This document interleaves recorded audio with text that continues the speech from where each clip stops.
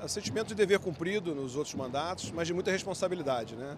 A população nos confia o quarto mandato consecutivo, sinal que a gente tem trabalhado de forma correta, mas renova essas esperanças. Né? As cobranças são sempre maiores, mas a gente vive um bom momento no nosso Estado, um momento da gente projetar um futuro promissor, voltar a gerar emprego e devolver a dignidade ao Estado do Rio de Janeiro.